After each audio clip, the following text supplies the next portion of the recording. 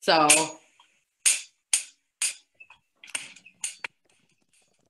let's just dance to this beat for a second. Appreciate this. so I am Dr. Fenwa Milhouse, as they obviously uh, stated, board certified urologist.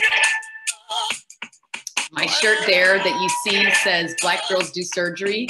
Um, I say that because don't ever, one of my big things is that you can do anything. And, and um, if you don't see yourself in a specialty, excuse, sorry, excuse the language, but this is like my favorite song. But anyway, um, you can do anything that you want to do. Um, and so if there's nothing else that you leave with, with any of anything I'm telling you is that do not limit yourself.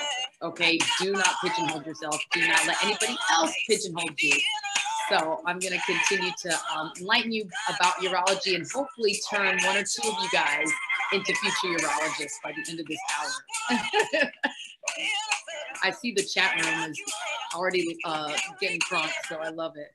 They're all right, so I am first of all, I always say this I am an ordinary girl. Okay. There is nothing, and I say this not to um, belittle myself in any way or make, uh, I say ordinary proudly, and just that there's nothing uniquely gifted or inherited or I've, I haven't inherited some sort of unique genius or special talent or unique whatever that I possess. I'm really an ordinary girl.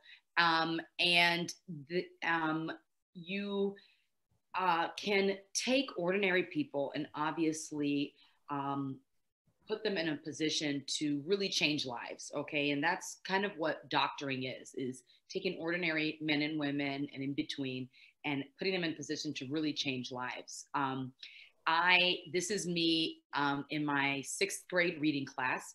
Uh, i am an immigrant. Uh, my parents and i migrated here when i was about two years old um, from Nigeria. And I grew up in a middle class home in Texas. So this was my sixth grade reading, uh, reading mm-hmm. class. And as any typical Nigerian household, I was basically encouraged to pursue education and become either a doctor or an engineer or a lawyer. Those were the three options. And um, fortunately for my parents, I, I kind of immediately gravitated towards healthcare and taking care of people and have wanted to be a doctor until I was, I mean, since I was like this high. So um, I ended up, hold on, why is this not working? Come on. Okay, hold on. Next. I guess I have to click here. All right. All right. So I ended up um, at the University of Texas. I grew up in Texas, so University of Texas Austin for undergrad, and from there got into medical school at University of Texas in Houston. And this picture on the left is a picture of um, me pulling an all-nighter with my study group in medical school and we brought somebody brought an air mattress type of thing and i you know took a nap and somebody decided to write my name, put an arrow, and take a picture. So um, I like this picture because it is it brings a lot of fond memories of medical school. Um, obviously, you guys are um, in undergrad, and so for you, the idea of medical school is probably really daunting and like this really big scary thing. But I want to let you guys know that medical school is was honestly like college 2.0 um, it, it is a lot of information that comes at you fast. It's a lot of studying, but it's a lot of fun. You know, you're surrounded by your peers, all of you guys. Uh, one thing is, that is to remember is everybody is putting on a front. Okay, everybody, even everybody in this chat right now is putting on a front.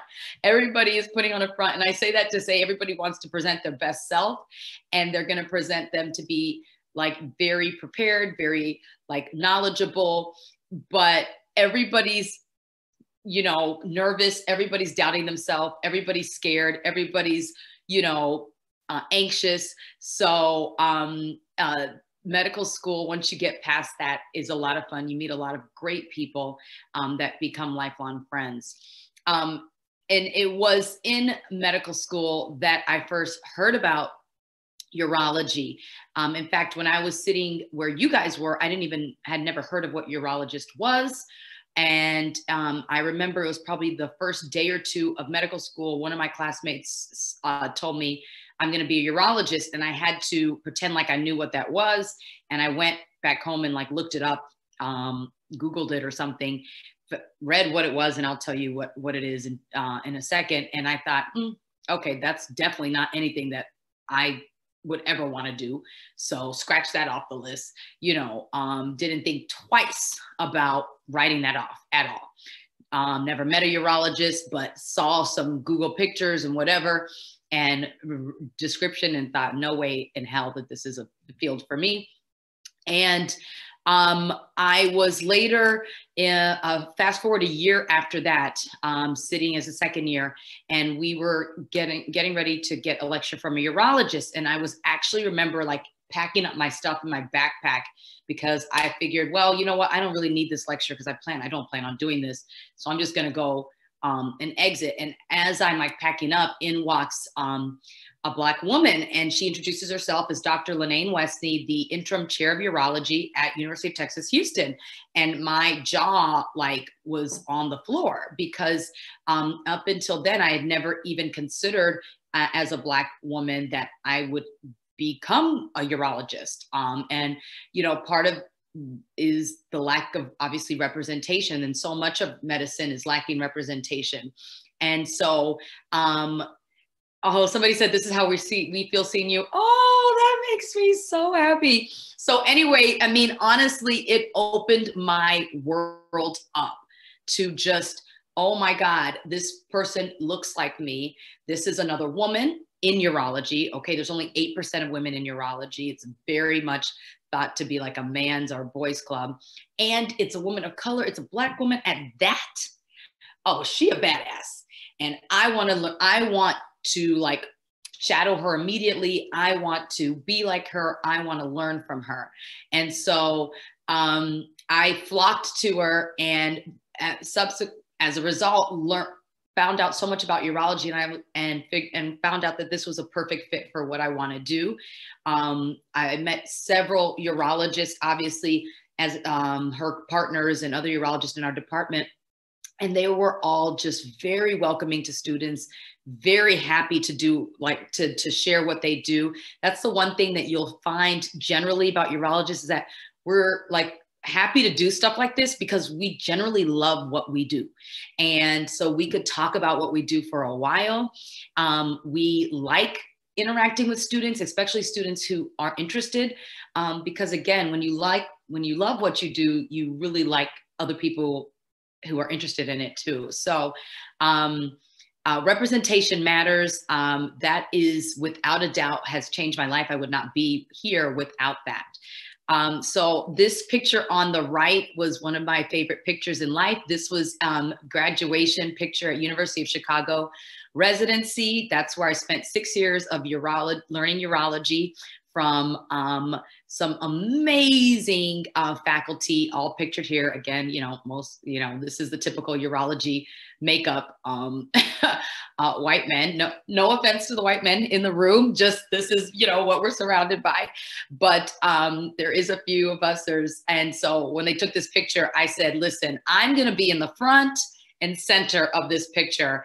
Um, I was, I'm very proud of um, being a University of Chicago urology alum.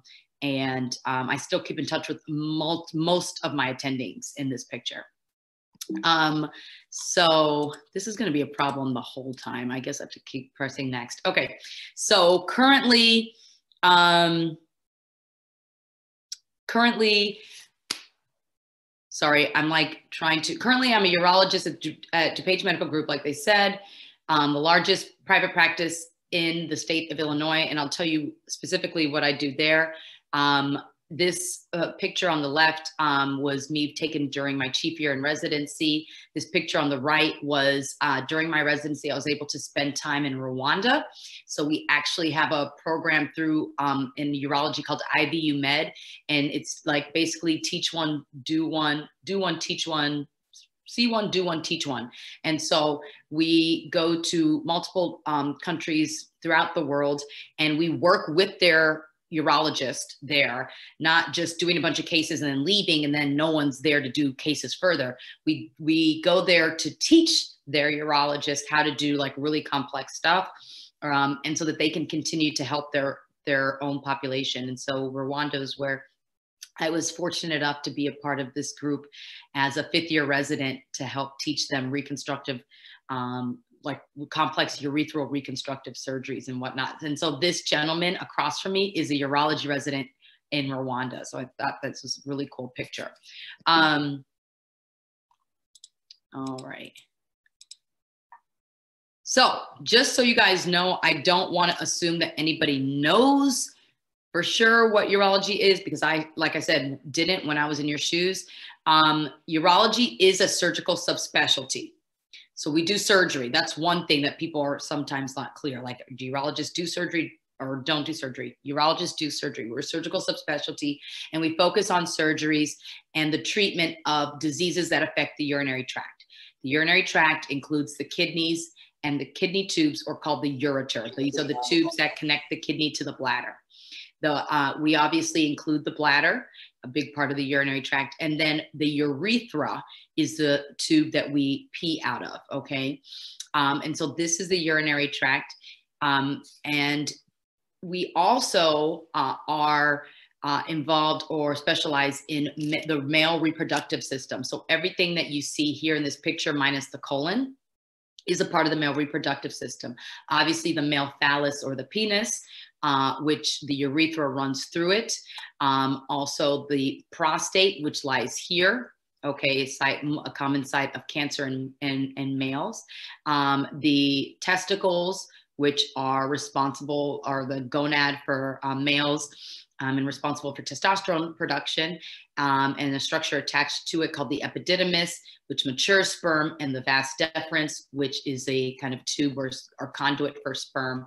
Um, and so um, everything um, we people sometimes will see us as the male gynecologist or the male version of gynecologist, uh, which you that is um, that is fair. Uh, we don't exclusively see men, however, uh, clearly are um, non-male um, gender women have um, urinary tracts. So we treat any human, male, female, non-binary, and in between with any urinary or urologic um, um, issues. Um, the one thing somebody mentioned about nephrologists, I'll, I'll say the difference between a nephrologist and urologist. Nephrologists are a medicine subspecialty. They don't do any surgeries. Nephrologists, I tell patients, nephrologists are like the engineers. They know the ins and out of how the kidney ex- excretes urine and excretes um, and and uh, a, a, is important for um, our metabolic processes. They help to make your kidney function better or um, not get worse. So they're really smart, smart, smart people. They are like the brains of the operation. They are the engineers. Urologists like myself, we are like the plumbers. Okay. So if there's something stuck in the pipe, once it gets out of the actual kidney itself, or if there's like um anatomic abnormality, like a lump or a bump or a twist in the kidney that's not supposed to be there that needs to be corrected surgically, you call us. Um, and so we're, you know, not as smart as our nephrology colleagues, but we are really good with our hands in reconstruction. So that's kind of the difference between nephrology and urology. Uh, okay, so um, in urology, there are several different subspecialties. So let me rewind this for you again. Four years of undergrad, four years of medical school. Most of you guys know that. Urology residency is either five or six years. The five or six years is just depending on where you end up. There is no advantage to six years or no, like it's not considered more um, prestigious. It's just a matter of um, choice of the institution. So five or six years. Um, the six-year programs tend to have an additional research year. So that sixth year tends to be a dedicated research year. Uh, traditionally, way even before me, it would be an extra like general surgery prelim year, but I think most of those programs have done away with that. It's really rare to find that. It's almost always a sixth year is like a dedicated research year where you are just doing research. You are not thought to, you're not rounding on patients. You're not, you're not involved in like the residency, you know, the typical residency stuff. Um, um, it's kind of nice um, in that you can also, you know, in my sixth year, I mean, sorry, in my research year, I planned my wedding, got married. I like did normal, I shouldn't say normal, but I did like, you know, regular people things. Like I went to happy hour um, at 4.30 with my friends. Um, but even if you don't have that dedicated research year, like let's say you go to a five-year program, a lot of programs will encourage, expect, um, want their residents to be involved in some sort of clinical research throughout their residency. So even with my residency, that one year wasn't the only time we were expected to do research. We were expected to get involved with clinical research throughout the whole, you know, the whole six years in some capacity. The first one or two years, you're such a baby, so not as significant, but certainly in the later years. So um, urology, after you graduate from urology, you can become a general urologist, which allows you to do a variety of things. General urology has so much that you can do, but there are subspecialties or fellowships that you can further specialize in if you choose. There are several, like urologic oncology or cancer. Um, so they deal with like bladder, kidney, prostate, testicular, penile cancer, um, male infertility, um, sexual medicine. So they deal with in um, erectile dysfunction, um, premature ejaculation, um, low libido, you know, those type of things. Um, pediatric urology. Pediatric urology deals with anything urologic that affects kids, as simple as bedwetting to as complex as, you know, genital urinary malformations or congenital um, abnormalities um, and reconstructive urology, which is deals with maybe trauma, um, urologic trauma, and really complex urologic reconstructions that can include um, transgender um, reconstructive surgery. So my specialty, subspecialty, um, I did an extra year of um, a specialty called FPMRS, and I'm just going to play this video. Hopefully it plays.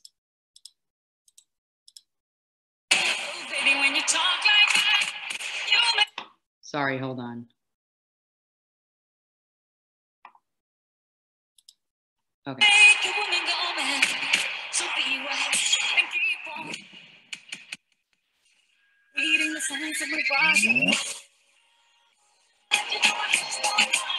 Okay, so FPMRS stands for Female Pelvic Medicine and Reconstructive Surgery. It's a fellowship subspecialty in urology that focuses on female urology issues. We deal with things like incontinence, leakage of urine unintentionally, um, that that obviously can affect men and women, um, but is more common in women. We deal with something called prolapse. Prolapse is a hernia. So like your pelvic organs are supposed to be obviously contained within our pelvis, but you, it things can herniate through the vagina. Um, and so that's called prolapse. We deal with that. Um, somebody said fistulas. Yes, we can deal with fistulas. We deal with interest. You guys are smart. You guys are so smart. How do you know this stuff? yes, IC or interstitial cystitis um, or bladder pain syndromes. Um, we deal with that. It's the least favorite part of one of the least favorite parts of urology because interstitial cystitis is just so um, unknown. We don't we don't know all the things, but so it's frustrating. But we what but we, but we deal with that. Somebody said Grey's Anatomy. Um, we deal with neurogenic bladder, neurogenic bladder, or neurologic conditions like MS or multiple sclerosis or stroke or spinal cord victims that affect the bladder. You know, things that affect your nervous nervous system affect your bladder abnormally. So we deal with that. So that's my subspecialty. Um, so that was four years undergrad, four years medical school, six years of residency, and one year of fellowship. And then finally, I am now working at the uh, DuPage Medical Group, largest private practice in the state of Illinois, as the pelvic um, medicine reconstructive specialist in the entire group of hundreds, over 400 physicians. Um, uh, we cover a large part of the Chicago suburban area. And this is um, part of my team.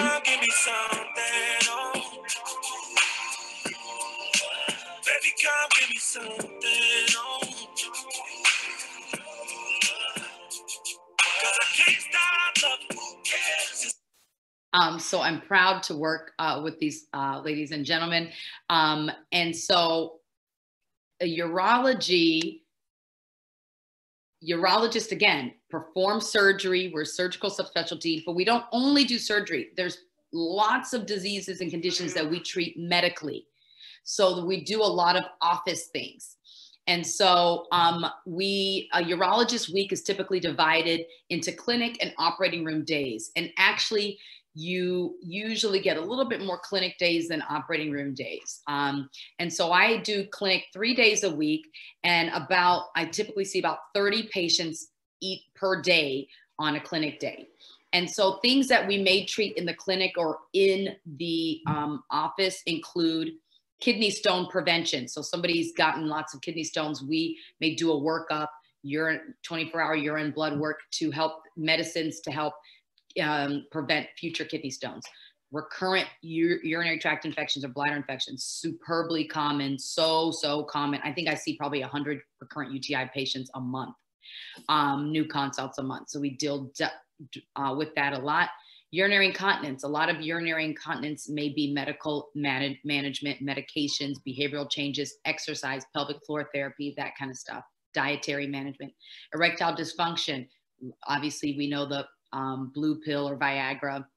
So uh, medications for that. Um, these are just to name a few. These are not all encompassing of the things that medical things that we do in urology. I'm just kind of naming the most common.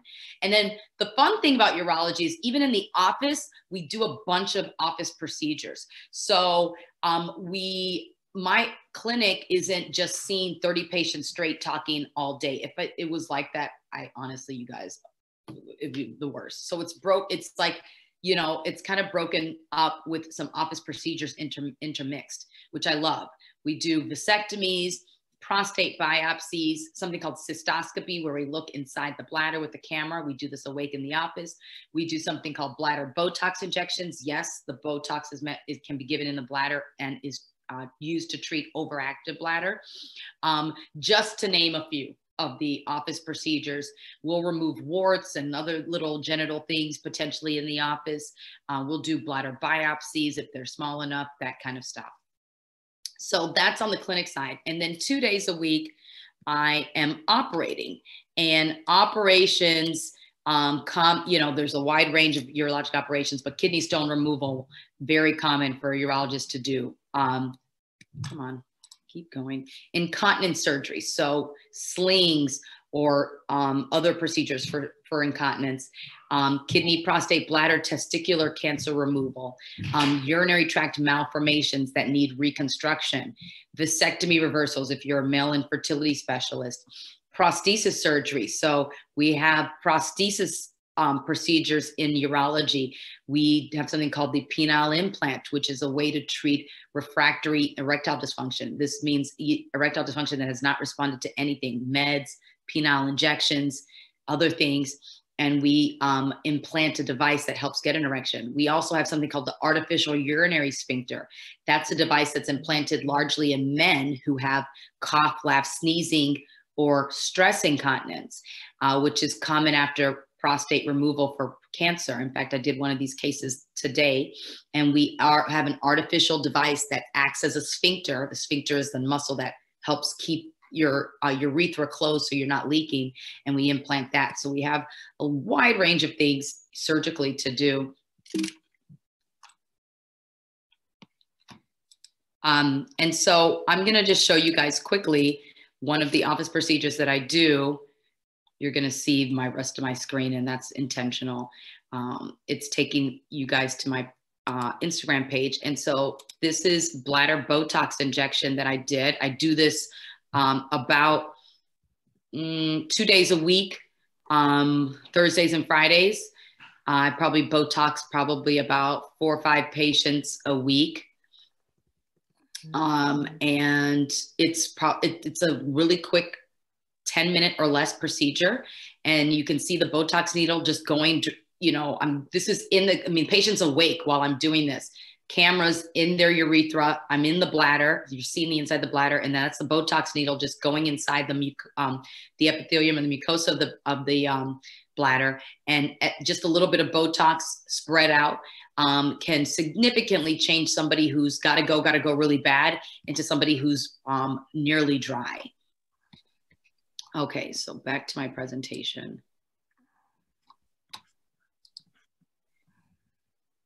And then one of the cases I listed that we might do um, uh, prosthesis wise is the penile implant. And so on my page, I've talked about what the penile implant is. Dr. Um? Yes. Um, we cannot see the videos that you were showing. You, oh, you can't? No. Oh, hmm. Oh, you know why? Okay, I think because I have to pick Okay, hold on. New, hold on. I just want to show you the Botox one. The other one doesn't need to be.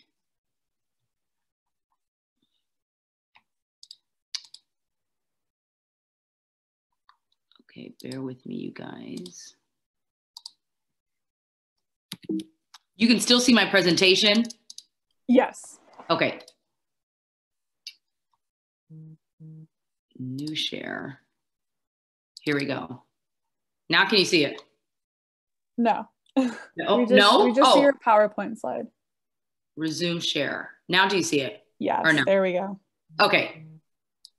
That's annoying. Okay. So this is inside somebody's bladder. Like I said, they're awake in the office and you can see the needle going inside the bladder and I'm injecting Botox, a little bit of Botox, like half a milliliter at a time, and spreading this with throughout the bladder. And this is about a 10 minute procedure in the office that I do. Um, like I said, about four, pa- four or five patients a week. And um, it really can make a significant difference in bladder control, urgency, incontinence. So one of one of my favorite office procedures to do. Okay, so then let me. It's kind of annoying that it doesn't automatically kind of share this but we'll get through it. Don't worry. Okay. Uh, pause. Pause share. Here we go. All right. Because I have a couple more videos. We'll skip that one. Um, just for the sake of time. Okay, so um, um, in the operating room. I think you have to screen. Oh, thank you. Thank you. Please keep me honest. Okay, okay, there you go. Got it. All right. So um, we do a wide range of procedures, um, different types of surgeries. We'll do traditional open surgeries, which are becoming less and less common, but this is a traditional open surgery that you guys are seeing. Obviously, you can't see the actual surgery, sorry. But even if you were shadowing me in real life, you probably couldn't see much anyway. In an open surgery. Um, but this is a patient who's getting their bladder removed for bladder cancer. And when we do that, we have to reconstruct or substitute the bladder for something. Um, and so we tip, we use part of the colon typically. Um, so that's what you're seeing in this procedure. Um, the other type of surgery is genital surgery. So obviously I'm a urologist. We do work on the penis. And also because I'm a female pelvic medicine specialist, I do work in the vagina. I do a lot of work in the vagina. So this is a vaginal prolapse procedure um, that um, I'm completing, and I'm basically reconstructing the vagina back into place where it belongs because it was hanging out. Um, and then we'll do endoscopic surgery. Endoscopic surgery means using small cameras or scopes and to, and placing them in native orifices to access that body part and treat them. Um, so, you know, for instance, GI specialists do um, colonoscopies. They put a camera in to look and evaluate your colon. Urologists, we do a lot of endoscopy. We do cystoscopies to look inside the bla- inside the bladder. We may scrape out bladder tumors, treat bladder stones, and do a wide range of other things. We do something very commonly to treat stones called ureteroscopy. The ureters, remember, are the kidney tubes that connect the kidney to the bladder. So we can t- st- take a small camera inside the bladder and then we can see the hole where the kidney tube meets the bladder and go up into that um, ureter and go all the way up into where the stone is, either in the ureter or in the kidney. And then we typically have to use a laser to break it up and we uh, remove it with a basket. So this is a, I'm gonna have to pause and share and all that stuff again. So hold on. Hopefully this is it. Do you see just the, the like video or do you see like my whole thing? We see the whole thing. okay. Let me The get rid of beauty this. of screen sharing. Like you see the whole shabam. All right, Yes. fine. That's okay. This is a really cool ureteroscopy video. Um, so let me back up really quick and I won't go through the whole thing. So don't worry. It's not going to be 21 minutes of watching this. okay. So I'm just going to talk. Um, so this is the scope here. Okay. The ureteroscope. And so this ureteroscope is inside the patient's ureter. What he's feeding this tiny the tiny blue filament that you saw is the laser. Um, so right, what, what I want you to do first is look here. This is an x-ray. So we use x-ray and we use vision. The x-ray is showing us, this is the kidney up here. And then you can't see the whole ureter because it's very thin, but the ureter is going this way. So bladder would be down here, kidneys up here. Can you guys see my laser, my pointer, hopefully? Or no? No. Oh. Dang it. Yes. Oh wait, we see your we see your pointer. Yes. You see my arrow? Yes. Okay, good. So this is the um this is his camera, okay? And you see this faint area right here? Can you guys see where I'm circling? Yes, no, maybe so, hopefully. Um, Yes. Okay, good. that is the stone. So that is the stone that we see in this camera on camera in the ureteroscopy. Okay. So we'll first try to pinpoint it via x-ray and then we'll use vision obviously to see it. Once we see it, we'll feed in the laser. This is the blue laser fiber. The laser fiber on contact breaks it up. You see how it's chiseling it almost like it's chiseling you know, for gold or something. And we'll break this up into fine pieces that we can remove smaller pieces safely out of the ureter. This can be a very tedious surgery or it can be a very fun surgery. Just depends on how hard stones can be. Some stones are really hard to break up. Some stones are really easy to break up, just depending on their their um, makeup. Um, and so once we've broken it up, I'm going to fast forward to 18 minutes. Then we take a basket. This is the basket. So it has a, it's really thin. He's trying to show that on his hands. He's feeding in the basket. Um, his um, assistant is manipulate, is going to manipulate the basket. When he says open, it's, he's going to open it. So you can see his assistant is opening the basket and the basket is looping around the stone and closing the basket. And then we take the stone out that way. We have to do this with every single fragment that we've just broken up. Okay. I tell patients in the op before the operating room, I was like, imagine the claw, um, like the carnival claw thing where you have that the big claw that's trying to get the toy that you want. Okay. Imagine having to do that several times. So um, um it can be, you know, kind of tedious and annoying at some point. Um, but it is a fun surgery when it work, go, goes very well and it's basketing very nicely. So you can see he's removing this, this one stone fragment out completely and he'll go back and have to do that again. Okay. All right. So let me go back to my video. I mean, to my PowerPoint. I apologize. Yeah. And you can see the PowerPoint again now. Yes. Perfect. Okay. So, and I'll skip over this. Um, but basically, this was me really excited because it was a huge stone and um, it took, you know, a couple hours to do, but I was able to get all the fragments out. So, success there. Um, very common surgery that, that we perform here. So, another um, per, uh, way that we do surgery is uh, minimally invasively.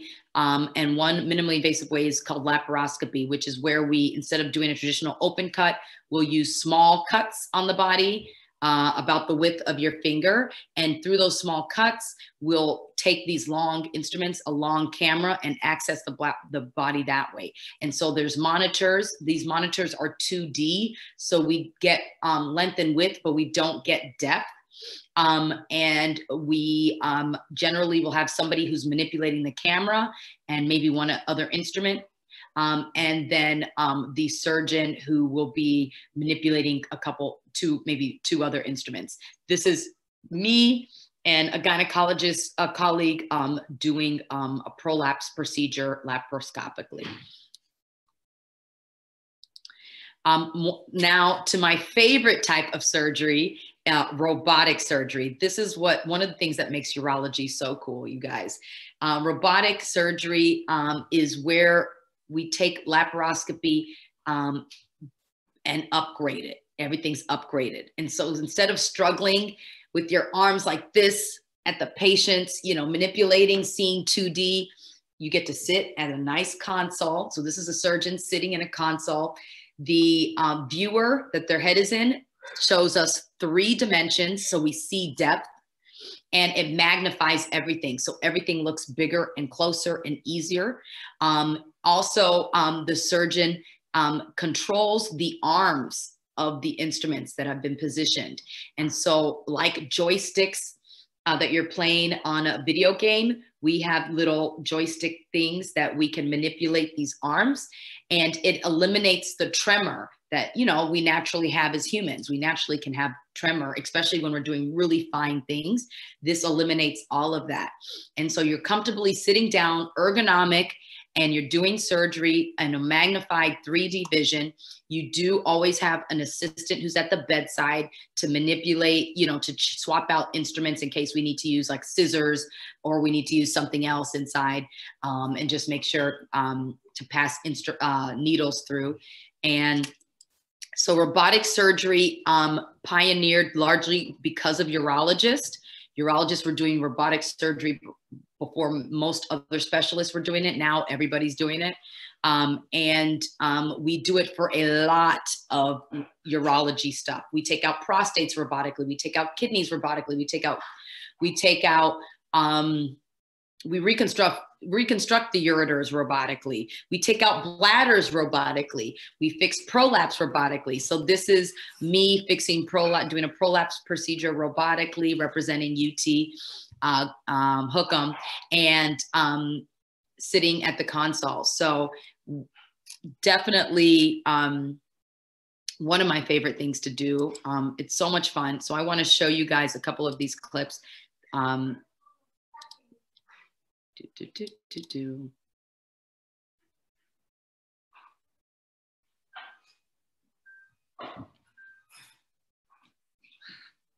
Hey, boo.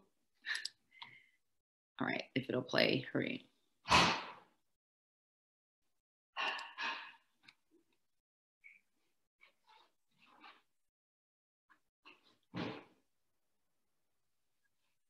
So like I said, I didn't mean it, mean it to be muted, but that's okay.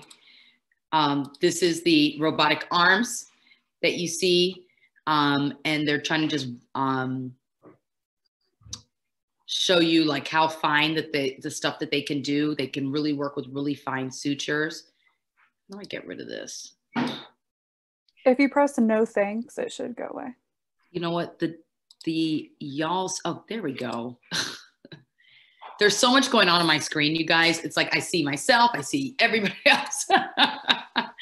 All right. So the patient, so they're just showing how robotic surgery is being utilized in different specialties, cardio, cardio, uh, cardiothoracic surgery, ENT, um, urology, general surgery, um, all sorts of things. So, and again, that's just showing you, this is the joysticks type of thing that we would use while we're sitting um, in the console looking and manipulating into the body. And uh, patients go home um, much quicker than traditional open surgery. Okay, so let me show you a second video. Let me know if you can not see this video that's loading, okay? So one of the common things that we do is take out part of the kidney for cancer. Um, a partial nephrectomy is the name of that procedure. And so if it's a small enough tumor, we can just take out part of it and not the whole thing. Taking out part of the kidney means that we have to temporarily obstruct or clip or um, uh, clamp the uh, main renal renal artery and oftentimes the vein too that feeds the kidney. Because if we just start cutting into a kidney that's not clamped, it's going to bleed profusely. Um, so this is showing an animation of that. Clamps are placed temporarily on the renal artery, and then the tumor and a rim of normal kidney are excised deep enough. You want to always get a little margin of normal kidney around the tumor. Um, the tumor is then removed and taken off as a specimen in the bag. And then we um, close the defect um, using um, sequentially placed sutures.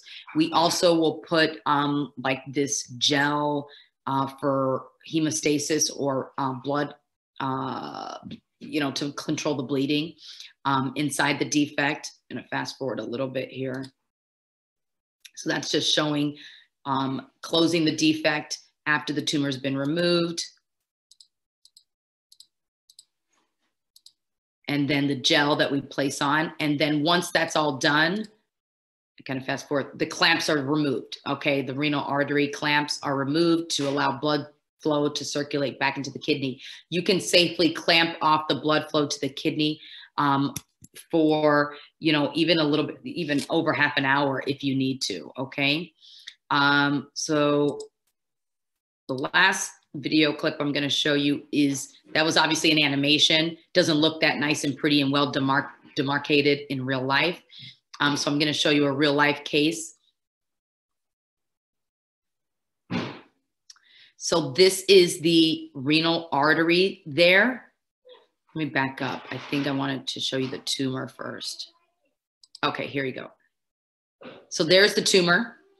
Okay, normal kidney here, tumor there. And so now they're trying to find the renal artery, um, what we call the hilum. And you can see the renal artery pulsating right there. Very um, obvious. This is the most tenuous part of the case. Obviously, it's a big pumping artery. We don't want to injure the artery. We injure it, um, it could mean losing the whole kidney. Okay. Um, the other thing is there's really important other big, big ass blood vessels nearby that are important for other parts of your body.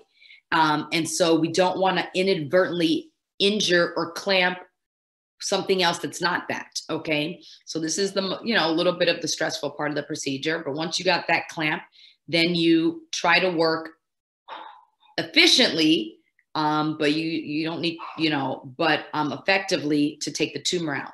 You want to we want we like to aim for under 30 minutes of clamping time um, just you know because um, you know there there used to be a huge uh, thought that it would really do significant damage, but actually, um, more recent studies have shown that it's not as bad as as we once thought. But we still like to aim for less than 30 minutes. So the surgeon is um, taking the robotic scissors and cutting out the tumor in a rim of normal kidney tissue that you can see nicely there. That um, will get put in a bag um, and taken out of the body. We have these things, uh, these bags that you can put through these small incisions and they kind of open up. For now, he's going to just put it away because he, he's thinking time. Time is kidney. So he just wants to get this kidney um, closed so he can take these clamps out. All right. So fast forward. That's that gel that I told you that helps to decrease bleeding. Um, so, and we use clips these um, clips at the on the sides that you can see these white and blue clips.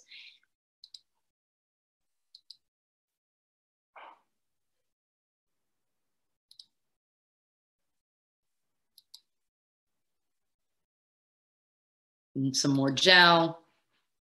And now once that's closed, now you can take that clamp off, take that out, and then you can, and then see, you can see he said 17 minutes. That's how long it took him to do all of that. Okay.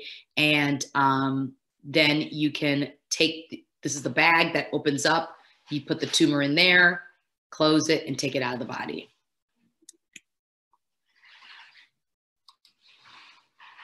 Okay, so let me go back to my PowerPoint. Great. So I'm going to end with encouragement for all of you guys. Um, everything seems very daunting as a pre-med.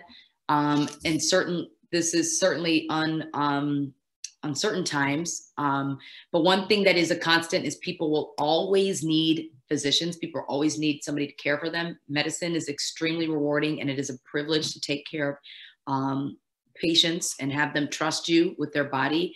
It's definitely a journey. Um, and during this journey, will, there's going to be highs and lows, and there's going to be failures and doubts, um, and um, and everybody goes through it. Okay, you're not alone. Uh, imposter syndrome is pervasive and i still have imposter syndrome where i feel like i don't belong here. What you know somebody's made a mistake. Um, so um, just know you're not alone. Um, it's normal. Good things come to those who believe. Better things come to those who are patient and the best things come to those who do not give up. Don't let anyone tell you what you can't or cannot be or define or limit you. You see here in this picture four black women we're all immigrants from humble beginnings, and we're all badass female surgeons. This is a Euro, um, onco- uh, cancer um, oncolog- oncologist surgeon.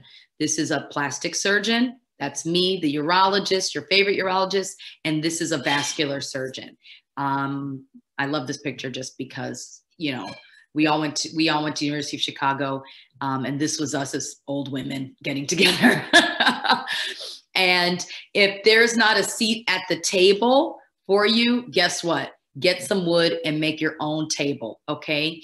This was me presenting alongside two really big names in urology. I mean, um, huge names in urology. And they picked little old me to be the third person on the panel. I don't know who made a mistake, but I owned it um, and find friends and mentors who will encourage you, like minded individuals um, who are in your goals. And please don't forget to enjoy the enjoy life and enjoy the ride along the way. This is um, a bunch of my residency uh, colleagues um, at my wedding having a good time. All right. Thank you so much, Dr. Milhouse. That was so informative. Everyone in the chat loved how you explained things. It was it was amazing, and the representation is awesome. Oh, thank you. um, so, would you do you want to go through the questions, or do you want me to read some? Please go through the questions. Okay. Yeah. Perfect. Okay, so there was some questions when you were talking about robotic surgery. Yeah. They asked, so what is the time in surgery if there is a difference between doing a robotic case versus an open surgery? And also what what was the learning curve like for doing robotic surgery? So um, it depends. The the time depends because if you are a lot of open surgery is fading out. So if you ask a, um, somebody like me, hey, doing an open prostatectomy where we remove a prostate, how long is that going to take me? That's probably going to take me six, seven hours to do because I you know, maybe saw 10 open prostates my whole six years. I'm not familiar with it. If I had to do a robotic prostatectomy, that may take me three, four hours to do because I saw about a million of those. So part, a large part of the time depends on obviously the surgeon's um, uh, comfortability or you know familiarity i should say um, and experience with um, that route or that procedure. There is a little bit of like robotic setup that goes into any robotic procedure. So you know with open surgery you get the patient asleep prep the belly or whatever take a knife and oh you know get to going. With robotic surgery you've got to position the patient wherever you know and wherever way you're going to um, you know intend on placing the ports. You have to make the incisions, the small incisions, and they need to be placed strategically so that you have the robot arms aren't clashing into each other and you're, you know, targeting, you know, the the right part of the body. You don't want to place arms in the pelvis and you're trying to be in the chest, for instance. Um, and then you have to dock the robot. So the robot itself has to be kind of carefully um, placed in. So there's about a 30 minute at least set up for all of that. Um, as far as the learning curve, um, there is obviously a learning curve for the robot. You have to learn how the robot um, docks. How, how do you put the instruments in the body safely? How do you change out the instrument safely in the robot? How do you utilize the joystick? I will tell you though, putting your head into the console and seeing a 3D image and util, util, using the joysticks is is extremely um, uh, intuitive. It's extremely intuitive.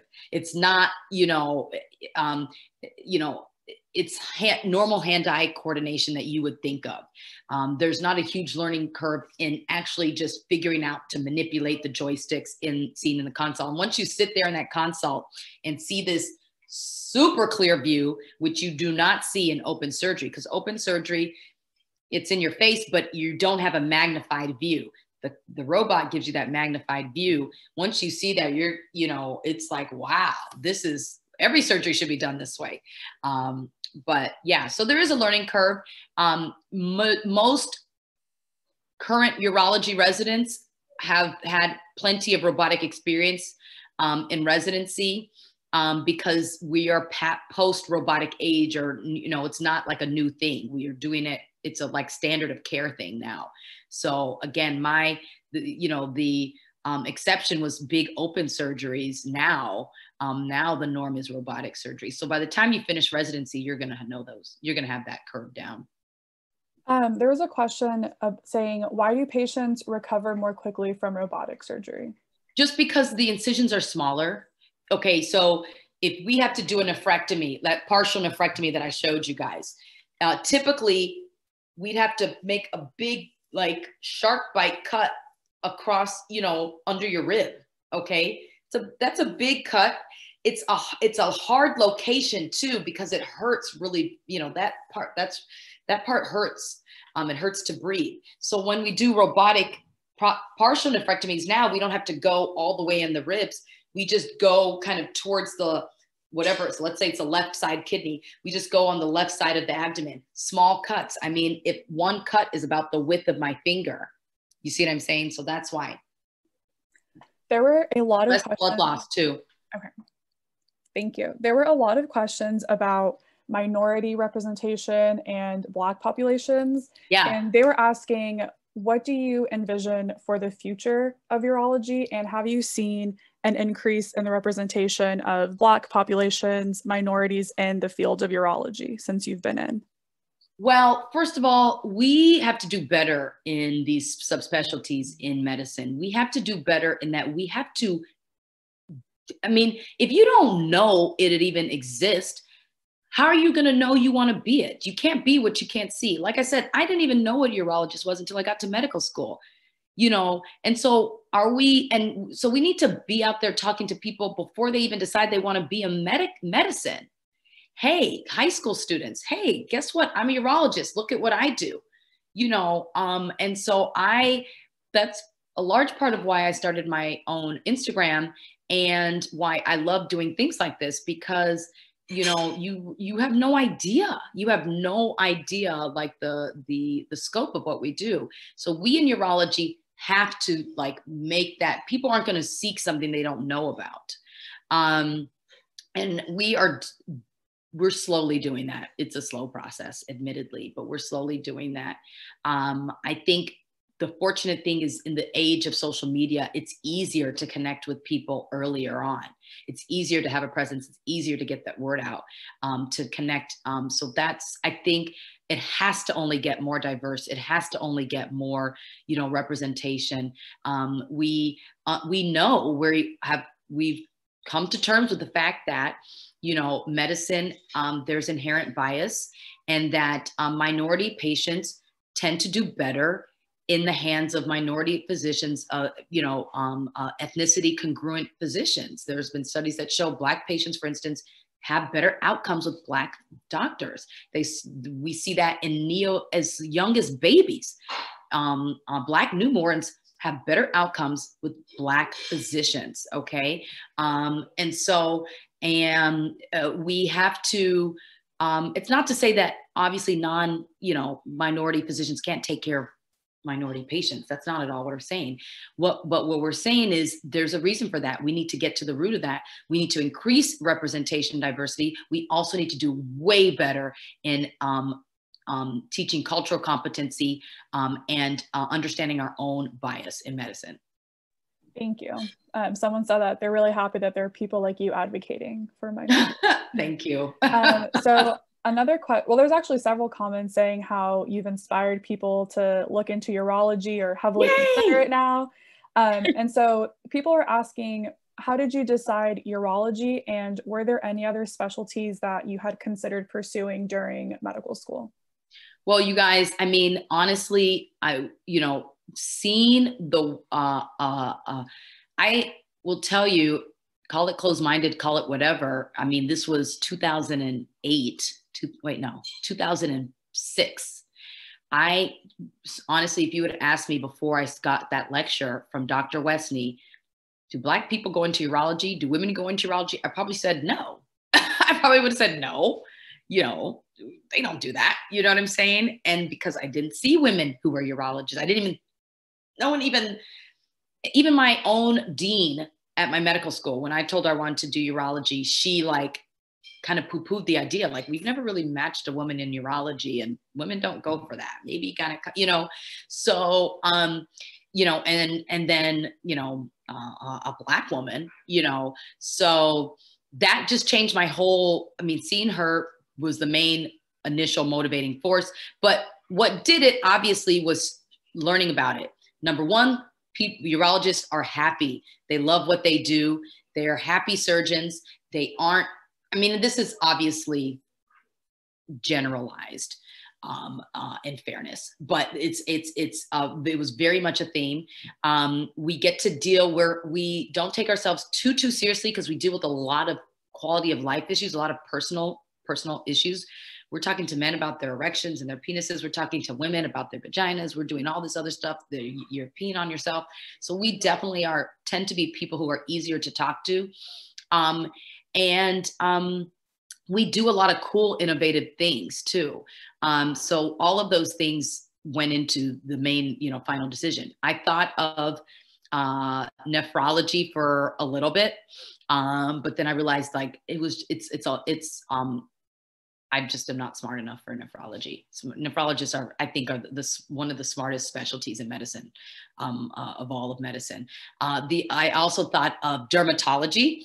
Um, I think I like the appeal of, oh, this is nice, lifestyle's nice, money's nice, but then I hated looking at skin. Um, but that's just me. I mean, I spent one day in dermatology clinic shadowing, and I was like, oh, this is so boring. Um, so check that off. Um, I thought neonatology because babies are cute, but then I had to deal with parents. I definitely didn't want to do that. So all of peds and neonatology and anything ped related, that checked off. Um, and then I really seriously thought about gynecology, OB-GYN, because I did gravitate towards women issues. Obviously, as you can tell, I became a female pelvic medicine specialist. I gravitated towards women's issues, um, but I wasn't in love with the OB part of it. So, and then again, when I just got found urology and then found that you could do female pelvic, female urology, ah, please, done and done, you know, so. That's awesome. Yeah.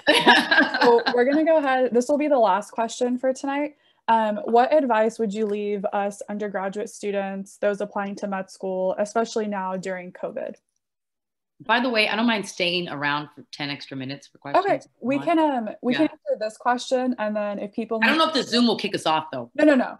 Uh, okay. we, you can answer this question and if people need to go, they're more than welcome to. But if you guys want to stay around and verbally ask questions after this one, you can go ahead and do that. We'll cut it off at 8:10. Okay, okay. so sorry, repeat the question. Um, what advice would you leave undergraduate students applying to med school, especially now during COVID? Um, I would say that don't let COVID stop you from your goals. Okay. You know, do not let it deter you from your goals. And in fact, uh, find ways and opportunities like this that you can use that kind of, you know, uniquely put you um, in a dip, in a position to still connect with mentors, still connect with um, with other uh, uh, medical uh, specialties. You guys are really early in the um, journey too. So the a lot of the things that like let for instance like residents who aren't able to um, do as much hands-on or um, medical students who aren't able to do as much hands-on they're at more of a slight disadvantage than you guys are at because you're going to get that okay you'll get plenty of, of that hands-on and in due time um, right now you um, want to do well in school number one okay i mean that's just the case you have to do well in school so make sure you're balancing well um, your workload, but then also cultivating. And now in COVID, you may have extra free time. Cultivate a passion, a hobby, pick up something that is way different than medicine. Medical schools love well rounded people, they love people who have something cool that they can talk about. Oh, I played the guitar. Oh, I learned how to yodel. Oh, I, you know, have a um, YouTube that talks about blah blase. Um, I dance. Um, I, you know, play ping pong. I don't know. You know, um, whatever it is. Um, I do magic tricks. Um, we had a person who interviewed who did magic tricks. So, you know, cultivate. If there's a, a passion that you have, man, it feed into that okay? Um, pour into that too okay? You don't want to lose all of yourself and just become this of boring medicine person. Um, and then use social media to your advantage. Um, don't be afraid to connect with people. Don't be afraid to dm people. Man dm me. Um, don't be afraid to um, if you see somebody like wow i think i have a opportunity that I'd like to present to them, or I'd like to pick their brain, or whatever the case may be, or maybe they, you know, you um, are trying to look for some um, remote research opportunity. The worst they can do is say no, no, thank you. But keep, don't be afraid to reach out. Okay, so if you guys have some questions, um, you can go ahead and unmute yourself and you can ask it. And we'll just take turns and do it for about five more minutes this this question. Oh, come here. Say hi to everybody. Oh, hi. you look so happy to join us. I'll be there in five minutes, okay? All right, fine. Um, all right. So, okay, so if you guys have questions, you can go ahead and unmute yourself. I'll answer one of them that I've just seen. Oh, okay. How challenging was it to be a woman in a male dominated uh, specialty? Um, so my residency was amazing. They love they love women actually. Um, they um, so I got I was received well and completely you know respected. Um, I didn't feel any sort of um, misogyny from my attendings. Um, I will say this, however, in general, women in surgery have to kind of be a little thick skinned. Um, you can't, um, women, uh, we women um, tend to doubt ourselves more than our male colleagues do. We tend to like triple check. Oh, okay, wait, am I on the right track? We tend to, you know, maybe um, just be a little bit more cautious. And that's not a bad thing, actually. It probably um, is uh, part of why um, studies have found that actually women physicians, um, patients have um, better outcomes with women physicians. But it can be a double edged sword in that we can come off um, not sure of ourselves, we can come off uh, just not confident. And so I want to tell everybody um, uh, to have the confidence um, uh, of I, I, I don't like to say this because I know there's men in here and I'm not disparaging men, but in general, men have higher confidence than women. Have the confidence of a mediocre man, okay, whether you do or don't, and also fake it till you make it, okay. So um, I would recommend, particularly if you're going into a surgical field as a woman, to keep those like mantras in mind. Um, because it will go a long way. What you what you uh, present yourself out outwardly is what people are that's how they're going to respond to you. Um, and so i always had that outwardly confidence even though inside i was like i don't know what the hell i'm doing and i don't know why i'm here. And it wasn't a dangerous confidence like I'm going to do something that I have no business doing, but it was a I trust, I am confident that this is where I, I, am supposed to be here. You, um, I am you know the resident that you want and and and that kind of thing. Um, now from a patient perspective patients are fools okay? So patients are definitely going to give you all sorts of um, sexist um, uh, remarks. Um, you know there's been plenty of racist remarks from patients. From a patient standpoint um, there can be some of that. I mean, I wouldn't say most patients are not like that. I would say, but there's there's uh, you know enough for, that I could probably write a uh, a short uh, novel of experiences. So, um, and as you're when you get into position like where you're where you're the attending, you don't have to you don't have to you can have a zero tolerance for that. You know, it's hard to have a zero tolerance as a resident. Um, you can notify somebody, but if they don't do anything about it, you kind of are helpless. But as an attending, I have zero tolerance for that.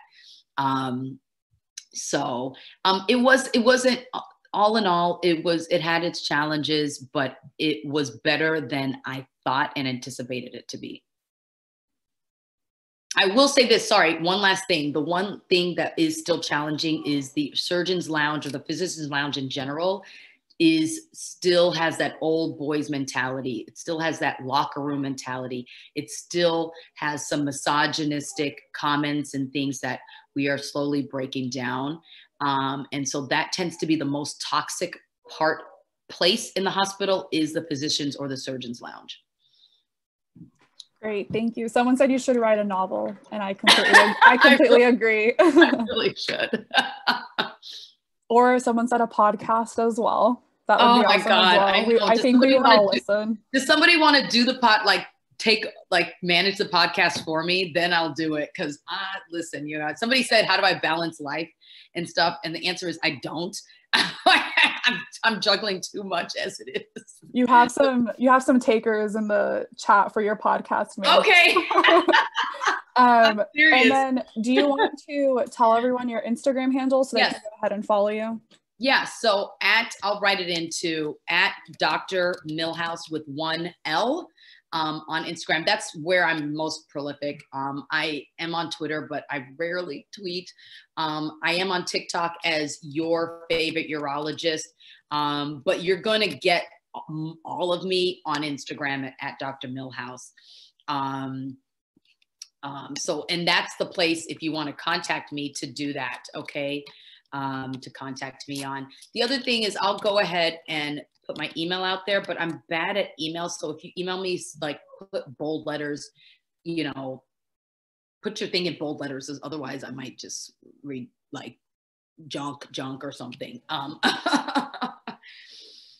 all right. Thank you so much, Dr. Milhouse. This oh, was so informative. I know yeah. that we all learned so much and those videos were awesome. So thank you. Okay. Thanks, you guys. All right. Have a good night. You too. Have a nice yeah. night and a great week. Take care. Bye.